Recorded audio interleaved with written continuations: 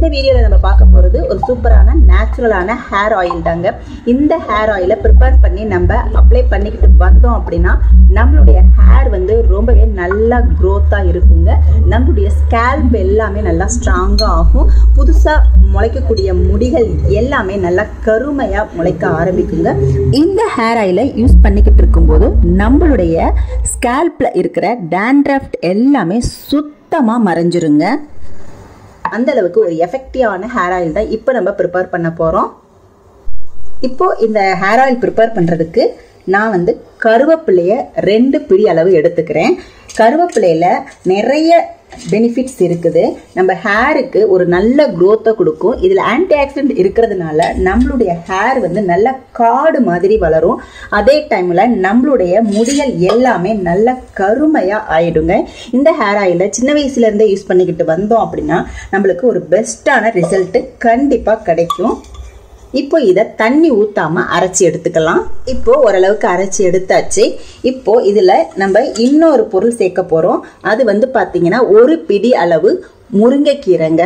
முருங்கைக்கீரை வந்து நம்மளுடைய ஹேர் க்ரோத்துக்கு ரொம்பவே சூப்பரான ஒரு இன்கிரியன்ட்டு இதையும் நான் ஒரு பிடி அளவு சேர்த்துக்கிறேன். நம்ம ஆயில் வந்து ப்ரிப்பேர் பண்ணுறது பெரிய விஷயம் கிடையாது. பட் ஆயில் எவ்வளோ எடுக்கிறோமோ அதுக்கு தகுந்த மாதிரி நம்ம இன்கிரியன்ட் எல்லாம் சேர்த்தா மட்டுமே நம்மளுடைய ஹேர் ஆயில் ரொம்பவே எஃபெக்டிவாக இருக்கும். இப்போ ஒரு பிடி அளவு முருங்கைக்கீரை எடுத்துக்கிறேன். பிடி அளவு மருதாணி இலை எடுத்துக்கிறேன். இப்போ இதையும் நல்ல தண்ணியெல்லாம் ஊற்றாம அரைச்சி எடுத்துக்கலாம். பாருங்க இந்த அளவுக்கு நம்ம அரைச்சி எடுத்தாச்சு. இப்போ நான் இந்த ஆயில் வந்து ப்ரிப்பேர் பண்ணுறதுக்கு அரை லிட்டர் அளவு தேங்காய் எண்ணெய் எடுத்திருக்கேன். தேங்காய் எண்ணெயில் இந்த ஹேர் ஆயிலை ப்ரிப்பேர் பண்ணும்போது நம்மளுக்கு ஒரு சூப்பரான ரிசல்ட் கிடைக்கும். எண்ணெய் வந்து கொஞ்சமாக காய எண்ணெய் பாருங்க நல்லா வந்து காஞ்சி வந்துட்டு இருக்கு. இந்த டைமில் நம்ம அரைச்சி வச்ச கருவேப்பிலை முருங்கைக்கீரை மருதாணி இந்த இலைகள் எல்லாம் இதில் நம்ம சேர்த்துக்கலாம்.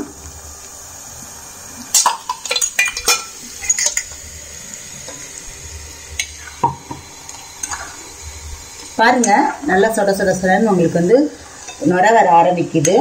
இது வந்து கரெக்டாக பக்குவமாக நம்ம வந்து மீடியம் ஃப்ளேமில் வச்சு தான் காய்ச்சணும். ஸ்டவ்வோட ஃப்ளேமை ரொம்ப பெருசாக வச்சுட்டு நீங்கள் கருக வச்சிட்டீங்க அப்படின்னா நம்மளுடைய ஆயிலோட தன்மை ஃபுல்லாகவே கெட்டு போயிடுங்க. ஸோ நம்ம கரெக்டாக மீ மீடியம் ஃப்ளேமோட கம்மியாக நீங்கள் வச்சுக்கோங்க. அந்தளவுக்கு வச்சுட்டு இந்த நுரெல்லாம் அடங்கணும். அதுதான் நம்மளுக்கு கரெக்டான ஸ்டேஜ் இதில் ஒரு டீஸ்பூன் அளவு வெந்தயம் சேர்த்துக்கலாம். நம்ம சேர்க்கக்கூடிய வெந்தயம் பார்த்தீங்கன்னா ரொம்பவே உடம்புக்கு குளிர்ச்சியை கொடுக்கும். இது வந்து நம்மளுடைய ஸ்கேல்ப்லலாம் நம்ம அப்ளை பண்ணும்போது நம்மளுடைய ஸ்கேல்ப்புக்கு ஒரு நல்ல ஒரு ஸ்ட்ரென்த்தை கொடுக்கும். ஸோ நல்ல ஒரு ஹேர் க்ரோத் கிடைக்கும். பாருங்க நல்லா வந்து நுரையெல்லாம் அடங்கிருச்சு. ரொம்ப நேரமாக கிடைக்குது.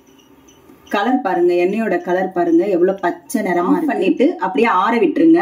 ஆறுனதுக்கு அப்புறம் நம்ம பார்க்கலாம். இதை நான் வேற ஒரு கடாயில் வந்து மாற்றி வச்சுட்டேன். ஏன்னா அந்த கடாயிலே வச்சோம் அப்படின்னா அந்த கடாய் சூடுக்கு வந்து ரொம்பவே எண்ணெய் வந்து கருப்பாக போயிடும்.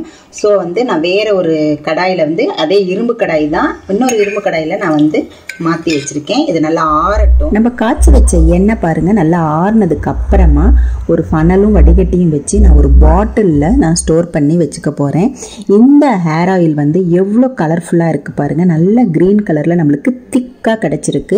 இந்த ஹேர் ஆயிலை நம்ம யூஸ் பண்ணிக்கிட்டு இருந்தோம் அப்படின்னா நம்மளுடைய ஹேர் நல்லா ஷைனிங் ஆகும். நல்ல க்ரோத் கிடைக்கும். டேண்ட்ராஃப்டெல்லாம் இருக்காது. ஹேர் லாஸ் கம்மியாயிடும். கொஞ்ச நாள்லேயே நல்ல காடு மாதிரி அடர்த்தியாக முடி வளர ஆரம்பிச்சிடும்.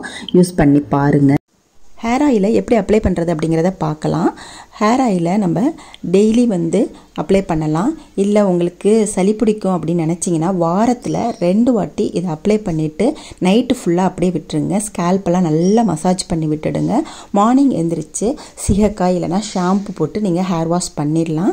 இந்த மாதிரி நீங்கள் வாரத்தில் ரெண்டு வாட்டியோ மூணு வாட்டியோ நீங்கள் செய்துக்கிட்டு இருக்கலாம். உங்களுடைய ஹேர் நல்லாவே க்ரோத் ஆகுங்க. ஹேர் வந்து நல்ல டென்சிட்டி அதிகமாகும். செஞ்சு பாருங்கள்